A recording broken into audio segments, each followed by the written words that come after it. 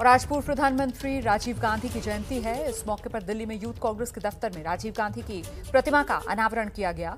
राजीव गांधी की याद में एक प्रदर्शनी का भी आयोजन किया जा रहा है, जिसमें उनकी स्मृति से जुड़ी चीज़ों को रखा गया है।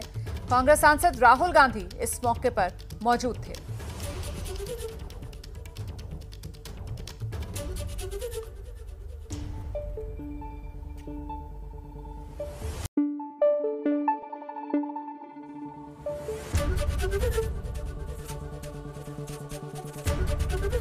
एबीपी न्यूज़ आपको रखे आगे।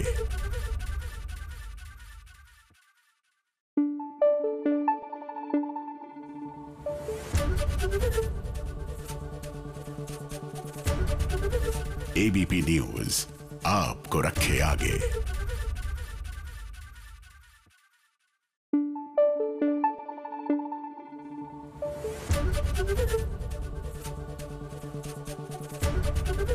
एबीपी न्यूज़ आपको रखे आगे।